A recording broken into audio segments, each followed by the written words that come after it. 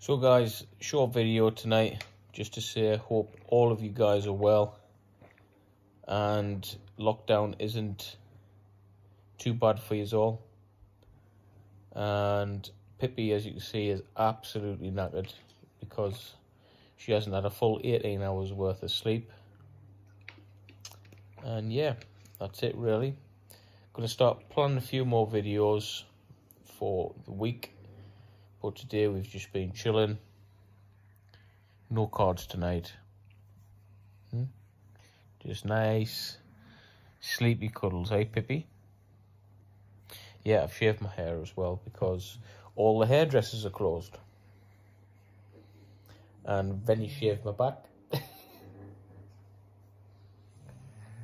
and Pippy didn't do anything, did you? Hmm? Huh? Isn't this the prettiest pug on YouTube?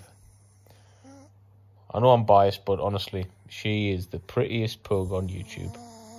She's just got a block nose, though. hmm? Hmm? You okay, puppy? Puppy's our nickname, by the way. Her, her name's Pip, but we call her Puppies. Hey, puppies.